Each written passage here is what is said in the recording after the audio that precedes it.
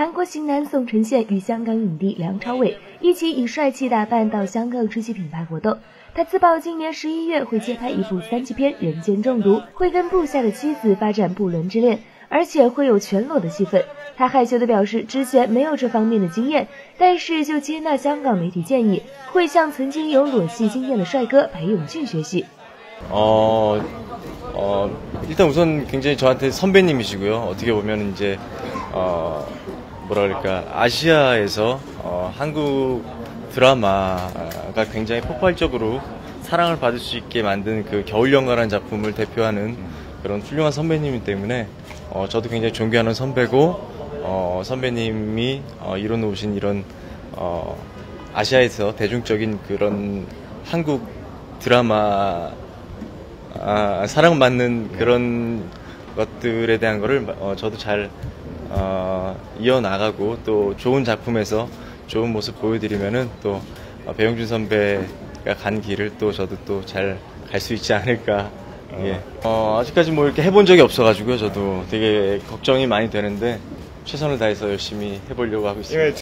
提到梁朝伟曾在《色戒》中也有露肉演出， 宋承宪笑言会向对方请教，并坚称自己是梁朝伟的超级粉丝。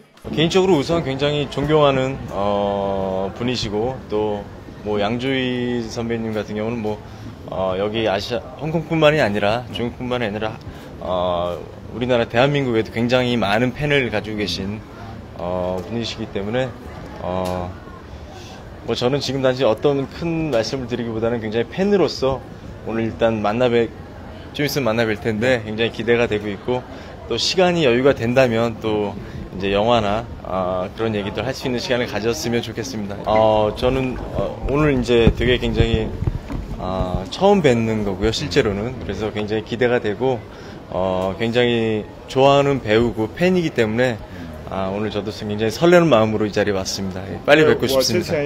宋承宪诚意可嘉，但是最近把头发彻底剪短，身穿深蓝色西装，配色白衬衫及白色长裤，行报到场的伟仔。虽然当天两度跟媒体见面，但是一直拒绝接受采访，不知道他的葫芦里卖的是什么药。搜狐视频娱乐播报，香港报道。您现在收看的是搜狐视频，大家好，我是佟大。